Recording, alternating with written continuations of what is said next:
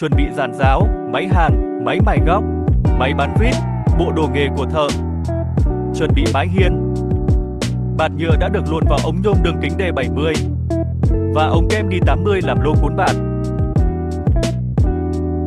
Chuẩn bị tất cả phụ kiện kèm theo, Motor trục cuốn, motor sẽ được gắn trong phần ống kém của mái. Đây là dạng motor ống, nên khi điều khiển motor sẽ quay vòng và kéo theo là mái hiên di động sẽ đua ra, thu vào tương ứng. Bộ điều khiển bao gồm một bộ thu phát tín hiệu không dây, dùng sóng Zigbee tần số 433 MHz.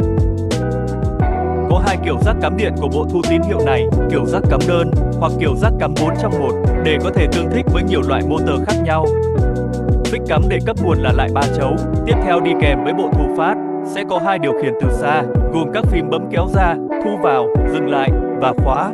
Tiến hành làm, đầu tiên cần tháo rỡ các kết cấu ảnh hưởng đến việc lắp đặt. Trong hình là đã tháo rỡ biển quảng cáo, kiêm phần trục của cửa cuốn, lắp đặt lỗ cuốn, động cơ, bát vào rồi đưa lên ướm, để đo và cắt phần khung giá đỡ cho mái hiên. Xác định vị trí sẽ bắt khung vào tường. Công trình này đã có vì kèo đua ra rồi thì chỉ cần hàn nối thêm, rồi hàn đính bát vào thanh nối dài từ vì kèo. Đầu phía bên kia cũng hàn tương tự như đầu bên này. Sau khi hàn đính hai đầu bát vào khung, ta tiến hành hàn bắt tay đỡ giữa vào vì kèo ở giữa. Căn kè vị trí chuẩn xác rồi thì hàn cố định bát vào với khung.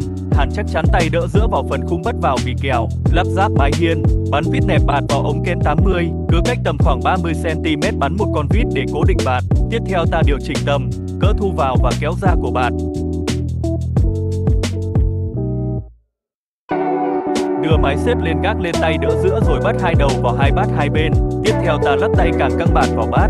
Lưu ý tay càng căng bạt phải được cố định chặt lại với nhau. Tiếp tục lắp tay càng vào thanh nhôm. Tay càng bên đầu kia cũng lắp tương tự, rồi ta tháo dây hoặc ghi lông cố định hai tay càng ra là hoàn thành việc lắp đặt mái hiên di động.